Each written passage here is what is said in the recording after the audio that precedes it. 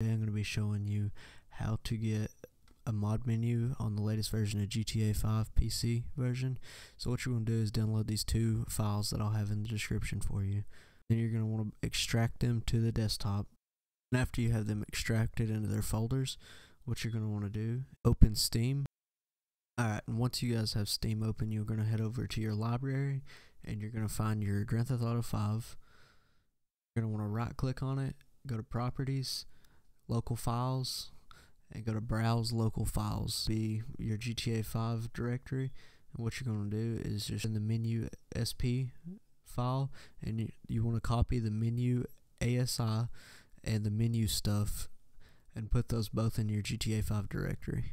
You're going to want to go over to Scripthook, open the bins folder, and drag all those files straight into the directory too. And what you want to do is click F8 and it'll boot right up and you can spawn in whatever cars you would like.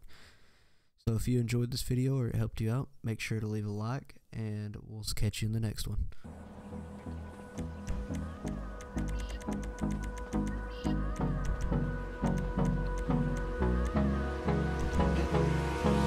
Hold me close till I get up. Time is barely on our side. I don't wanna waste what's left. The storms we chase are leading us, and love is all we'll ever.